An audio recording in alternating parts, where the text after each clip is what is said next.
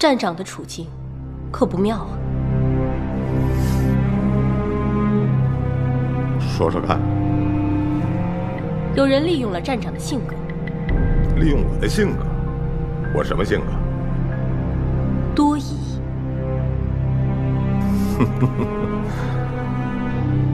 是站长先怀疑戴小姐的，站长一定跟上面某个人说过。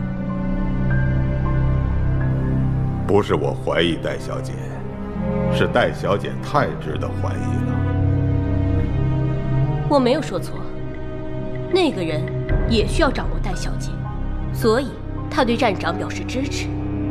站长是专家，而戴小姐是行家，在站长的职业能力下，戴小姐迫于情况危急，露出了破绽。你是说，戴维是共党？他未必是共党，可他和共党有说不清的关系。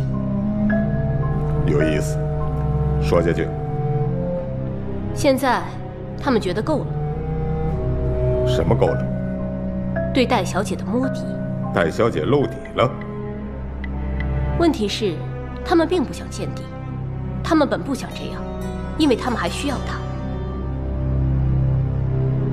可是，他们并没有我们专业。我们办的是案子，而他们操纵的是政治。案子的本质是真相，政治的根本是需要。此一时，彼一时。于是，我就变得多疑了。是的。我应该早一点跟你谈呢。你分析的非常透彻，少将。现在，站长是进退维谷。稍有不慎，那依你之见，我该怎么办？我不能说。为什么？违背了党国利益。维护党国利益，我维护了大半辈子，到如今却面临着生死之忧。没关系，大胆说。逆水行舟。说具体点。他们要阻止我们，因为再不阻止，他们就会害怕。如果他们害怕了，也许他们真的会向我们妥协。你说的那可是生死博弈啊！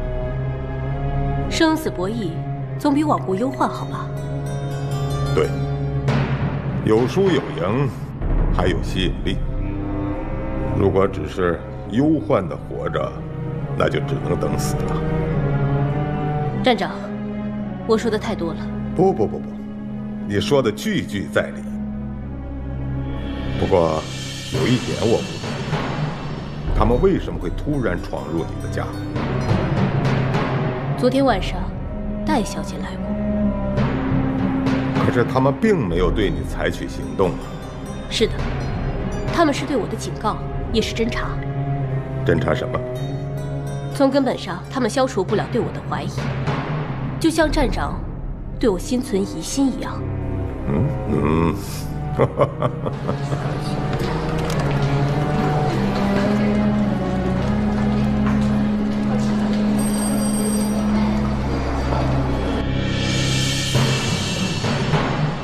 今天我之所以说这么多，敢这么说，是因为我和站长站在同一条战线上。怎么讲？尽管心诚制毒，却没有人相信。也许我们活着，就是为了证明。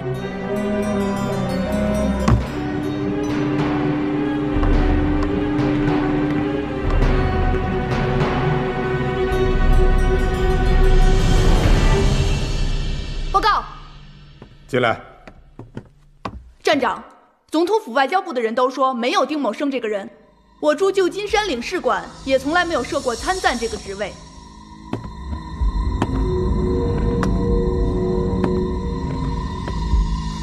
给我接局座电话。是。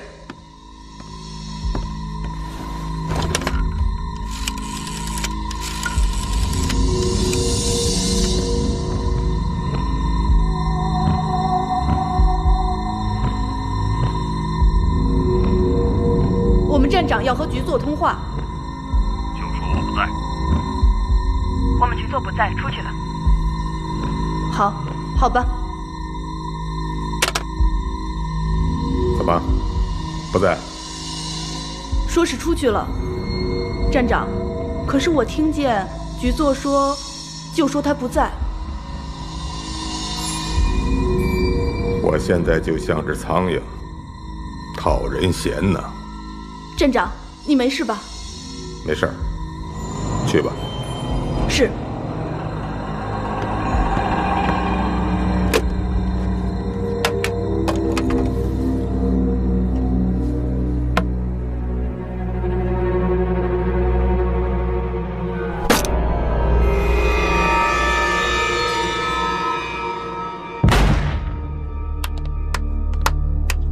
能欣赏到戴小姐的身手也是件幸事啊！知道吗？委座赋予我特殊权利，我可以随时把你打成马蜂窝。是吗？先斩后奏。没错。即使我死了，也会有新的面孔出现的。可我就讨厌你这张脸。我尽量不露脸。说吧。什么事？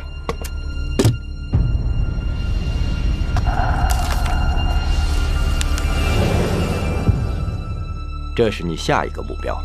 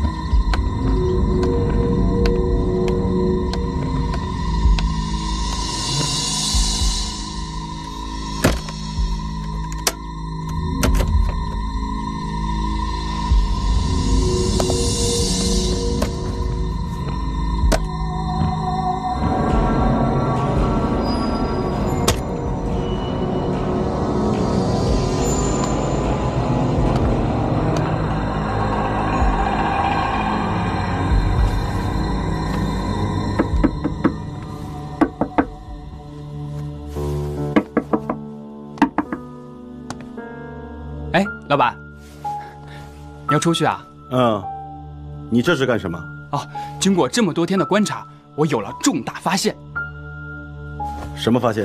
你看，你看这儿，这面墙和旁边的墙不一样，这是新砌的，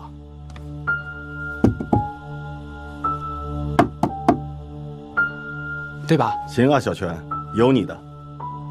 我觉得这里面肯定有名堂。等我晚上回来再跟你探讨。小心看店。好嘞。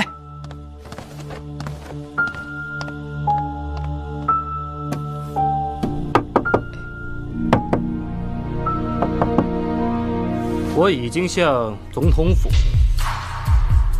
还有南京站提供了情报，在对待共党的态度，他们是坚决的，堵住了戴威这条路，共党要得到国宝几乎是不可能的。至于戴威，我还在竭力争取，我想他会转向我们的，参议员先生。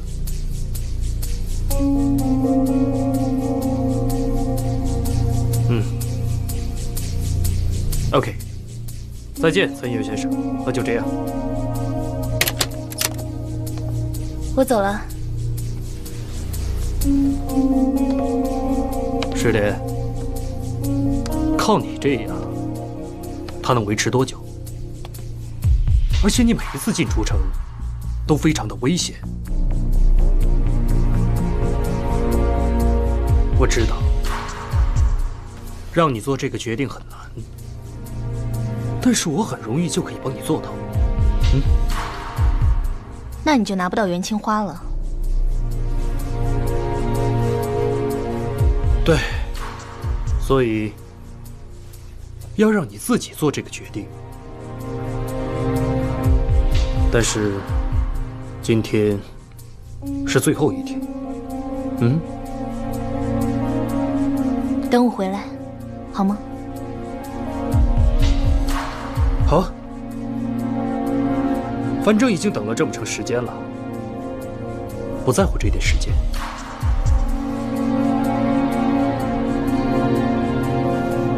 自己小心。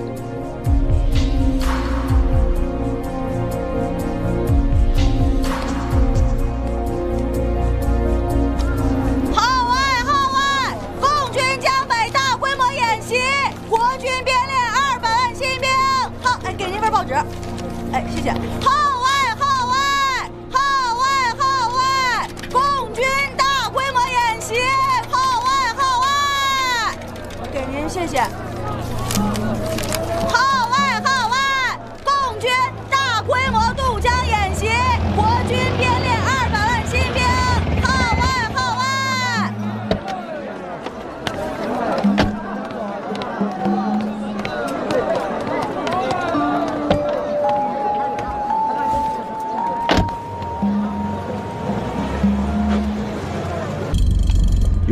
用陈纯先去台湾，保住后路，让顾祝同一个人执掌着危难之举。顾祝同说了，家里的东西啊，都搬到台湾去了，连一床棉被都没留下。他太明白了，国军只有退路，别无选择。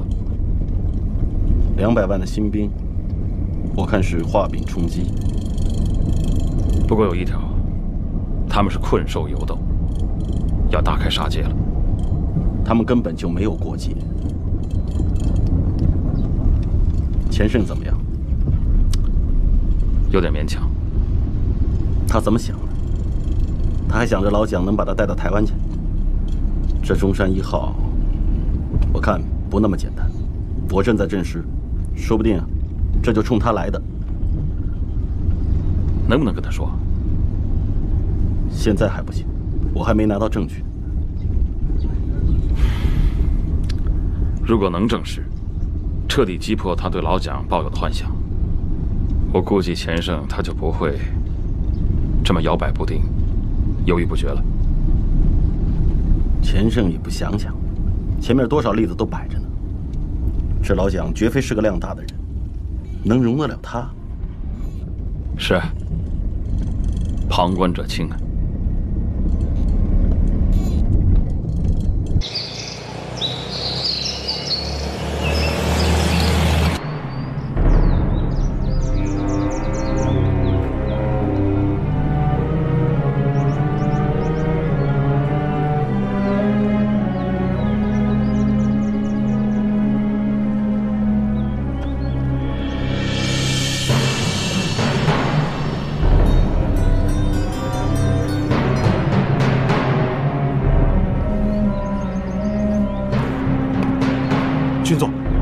有辆车，车牌是军牌。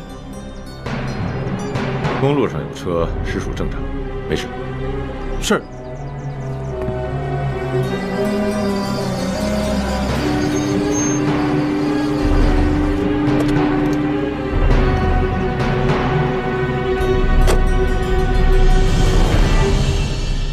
哥，魏国，你怎么来了？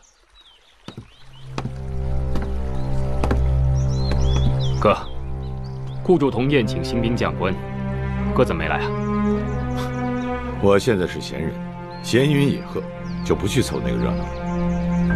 哎，戴小姐是不是风光无限啊？啊，哥，我来找你，就是为了谈你和她的事情。哦，你们都下去吧。是。走。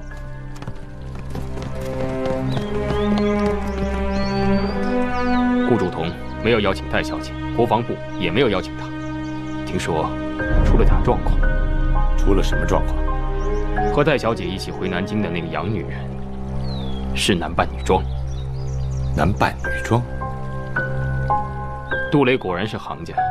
那个洋女人被堵在了荣都医院，警察包围了医院，可到末了，那个女人还是不见了。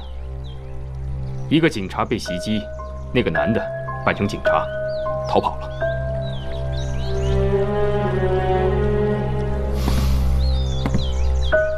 那个吴兄是擅长化妆的。这么说，这个洋女人是吴兄乔装打扮的？嗯。那天晚上，哥在吴淞口四号码头，戴小姐是不是自己驾着车，开的是不是吉普车？对，是吉普车。那吉普车是我的。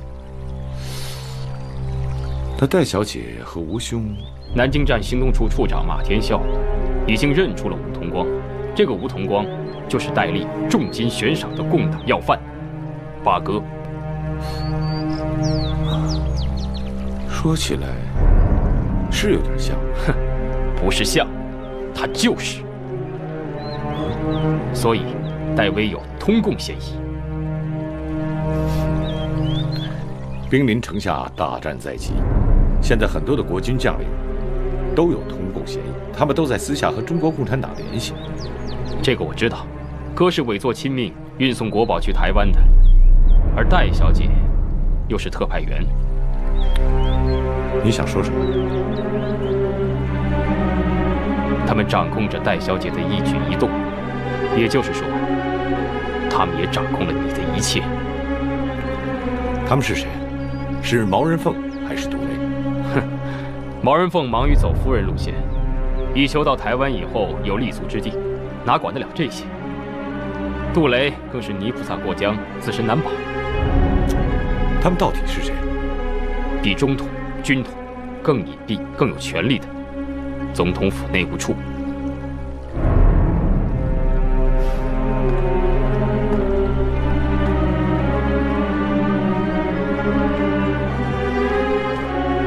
你怎么知道？我，我身边有他们的人。哥，总之，我劝你立即停止与共党接触，免得哪天。有人朝你开黑枪，只要你不出卖我，我哥，没准那个洋女人就是你告诉他们的。哥，我对天发誓，我现在最关心的就是哥的安全。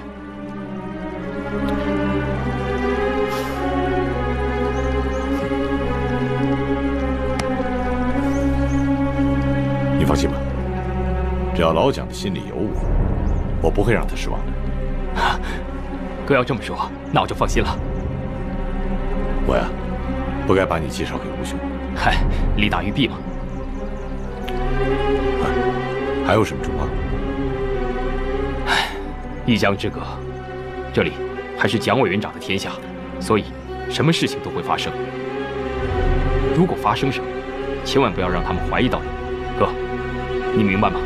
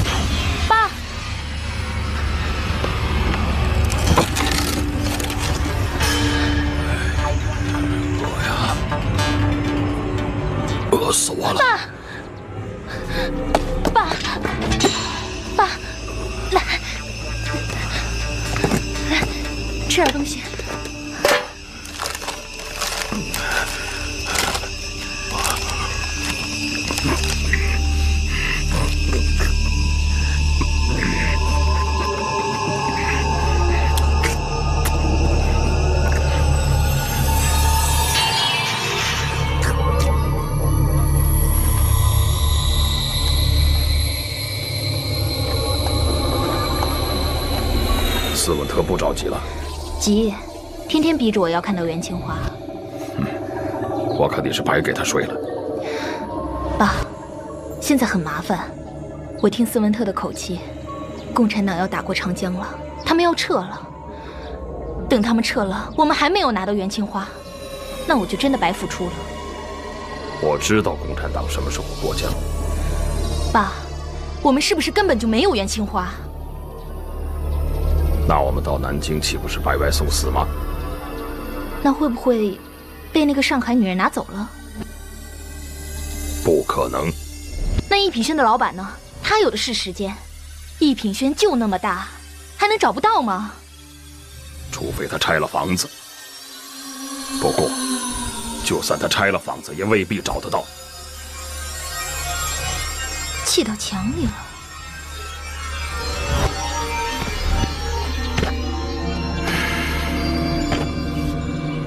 不是我不告诉你，一旦告诉你了，你就会没命的。你不告诉我，我们俩都没命了。你以为我出一次城容易吗？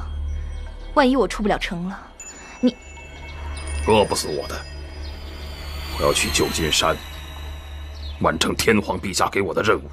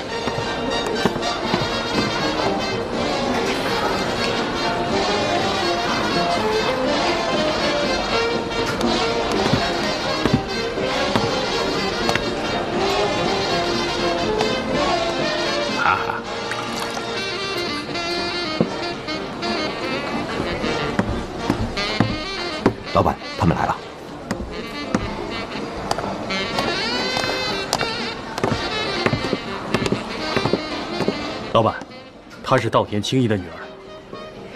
哦，哦，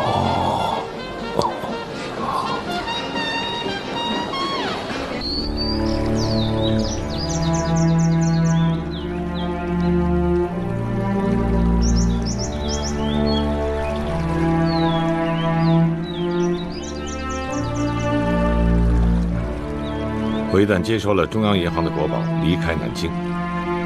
我的部队就我的副军长接管，他是我的人，完全听从我的命令，没有问题。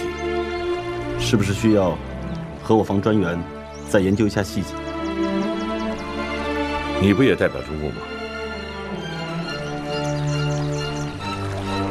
我们在镇江交接，万一将军不去上海，改成空运呢？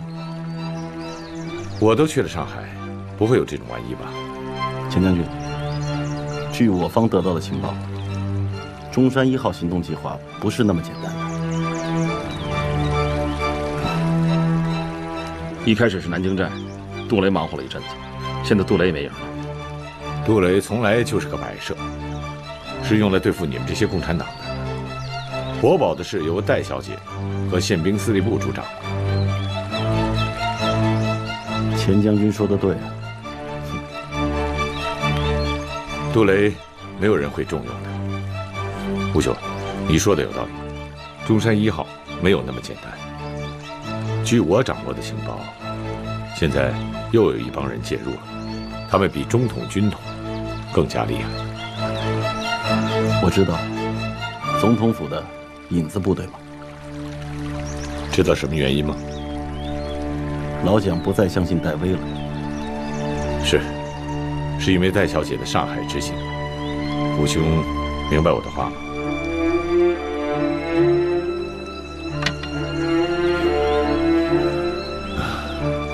所以，你们要格外小心。这帮人不像中统、军统，要找到证据才抓人。他们是狼，直接杀戮，宁可错杀，也不会放过。谢谢钱将军的提醒。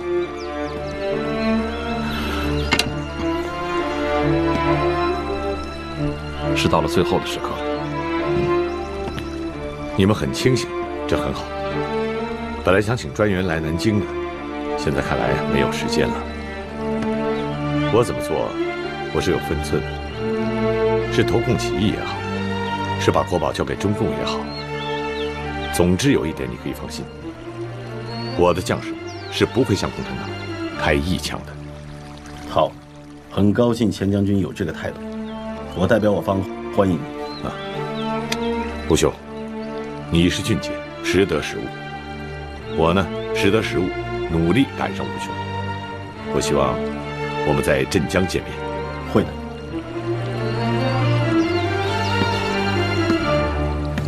注意回去的路。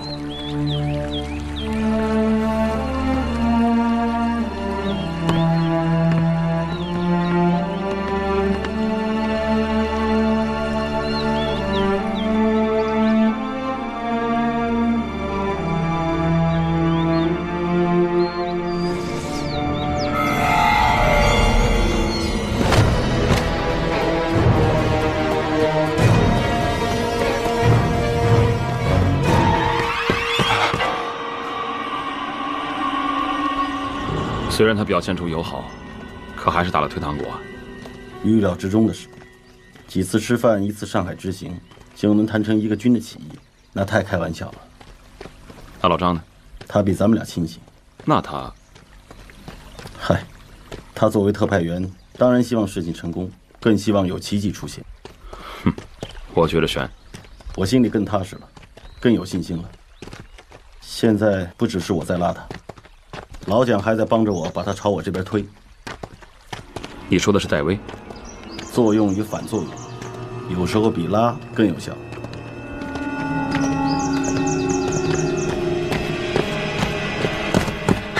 老大，林子里面有人，把车开过来，我们马上离开这里。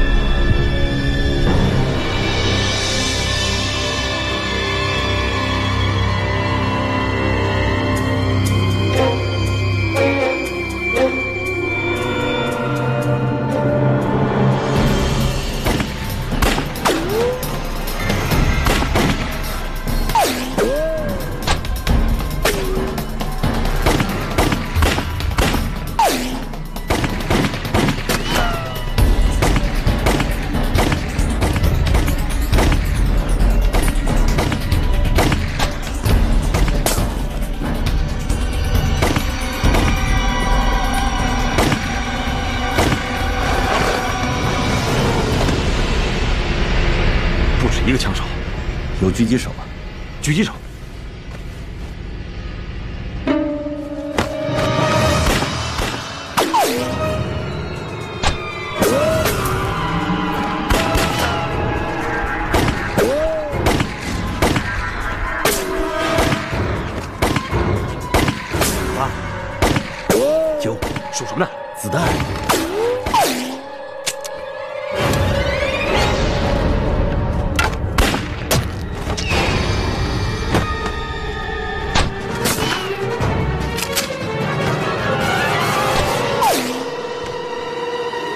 狙击手不冒头，咱们俩谁都跑不了。我去把他引开。我掩护你，小心点。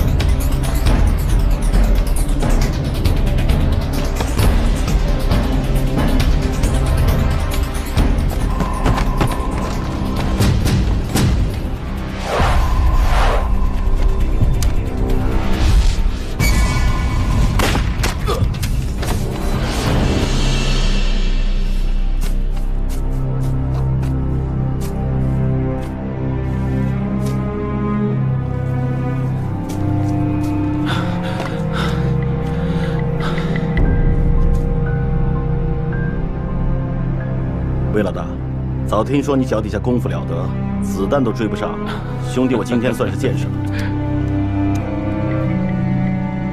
走，站住！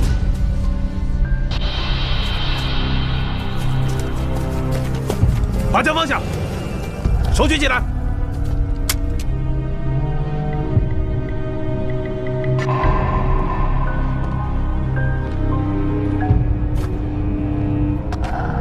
军座，他们敢开枪，说明他们已经发现军座了。现在杀了他们，是最好的证明，证明军座和共党势不两立。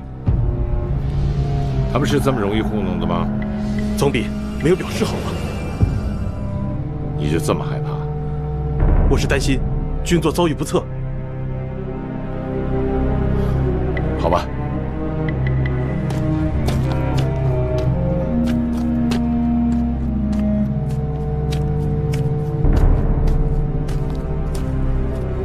我们军座给过你们机会，但是你们把事情给搞砸了，这怪不得我们军座。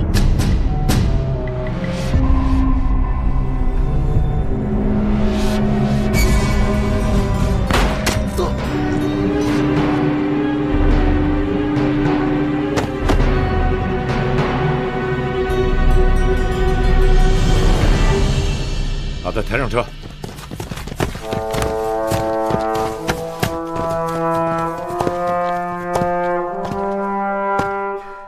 知道好运会偏向你们这一边。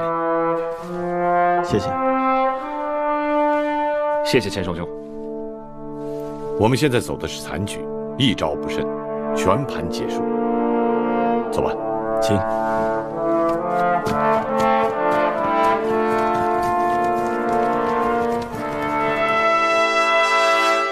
什么情况？处座，啊，还是四号包房。老板乐坏了，说好几个月没有见到马处长和我们这帮兄弟了。好几个月啊，我感觉好几年了。唉，可惜啊，我们都已经走了好几个兄弟了。可不嘛，小藤、小翟、徐万龙，说走就走了。算了，今儿咱不提这不高兴的事儿啊。对，不提了。只要共军没打进来，咱们哥几个该喝喝，该吃吃啊。处座啊，站长是回家了。啊，站长不管我们了？管，站长得先管好自己，然后才能管我们，明白吗？那我们怎么办啊？把这身狗皮脱了，今儿咱们什么都不管，好好喝顿大酒，去准备一下。对，喝酒去，走。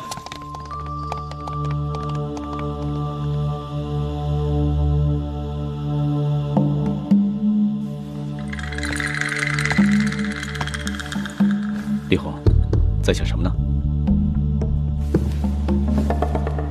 们真的是除了喝酒，什么事也不能做了吗？还能做什么？站长从来没有这样，丢了魂似的。听说，站长在查一个姓丁的人，他在旧金山领事馆见过此人。旧金山领事馆的参赞，你也知道，就是他阻止我查螳螂的。可是这个人不存在，说是外交部的，外交部查无此人；说是总统府的，总统府也不承认有这么个人。我现在在想，这个人就是在新城饭店阻止我查戴小姐的那个自称是黄雀的人。一个活生生的人，怎么可能不存在呢？上面在掩盖什么？阴谋。没错，一个惊天大阴谋，而且这个阴谋的核心就是戴小姐。李红，你真的非常危险。我。不错，如果我说的都是存在的话，他们第一个想杀掉的人就是你。你想，他们闯到你家，搜集你通共的证据，哪怕找到一点点，他们就可以杀了你。他们杀人是不需要证据的。你是保密局的少校，又是戴小姐的随从，他们多少会顾忌一点。他们怎么会突然出现了呢？图穷匕现。他们担心戴小姐，所以不想那么多了，听天由命吧。李红，我觉得你还是离开南京吧。我不想亡命天涯。那怎么办？咱们找到姓丁的。不行，我不能让你陪我上刑场。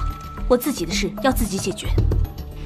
李红，马哥，你别说了，可能是我们想太多了。也许事情并不是我们想象中那个样子。我不明白你为什么不去香港呢？去香港也没让你非得嫁给我，你是自由的呀。我知道。那为什么？我是一个战士，站长说过，宁可站着死，也不跪着活。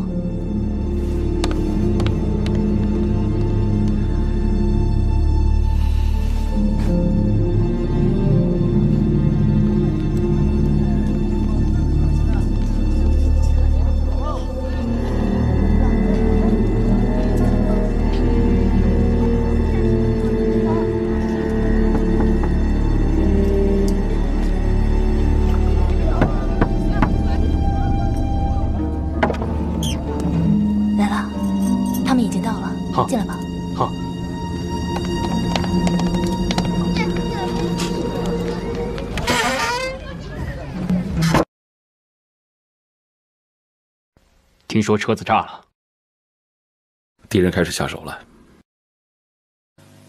我估计，最后时刻到了。我们对最后的把握有多大？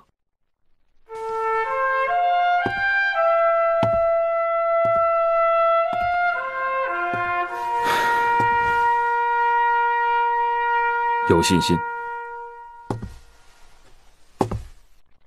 没把握。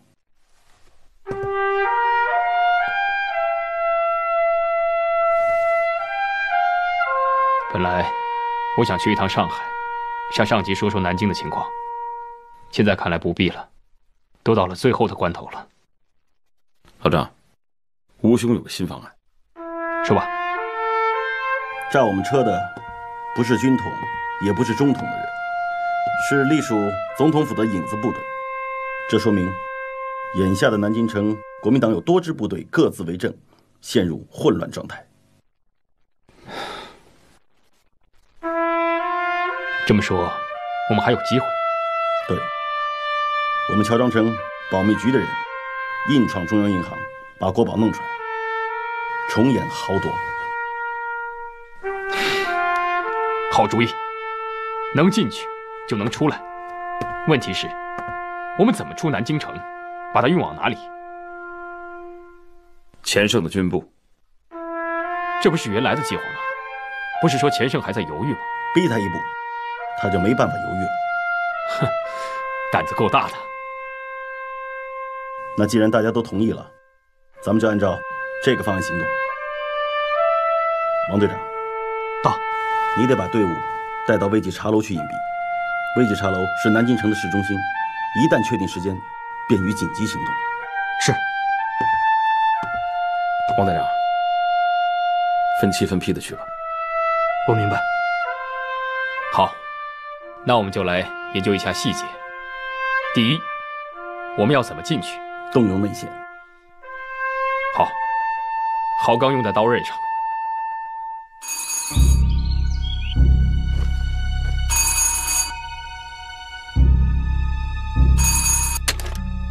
喂，你现在是违抗命令。你找错对象了，我不是杀手。你现在是了。我只受命于委座。你可以给委座打电话，但是你不要忘了，你不仅仅是个终结者，你还是个杀手。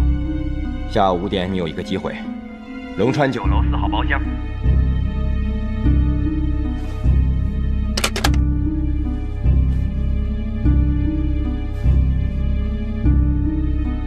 给我接委座。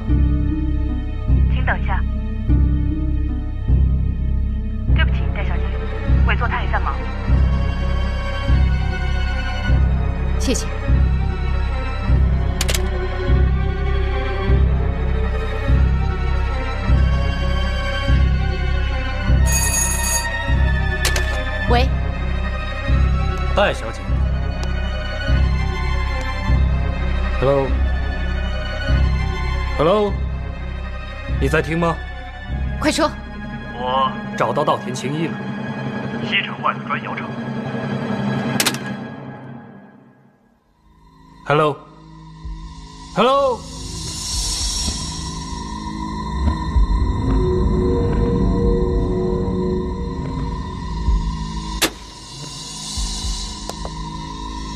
把你耍了。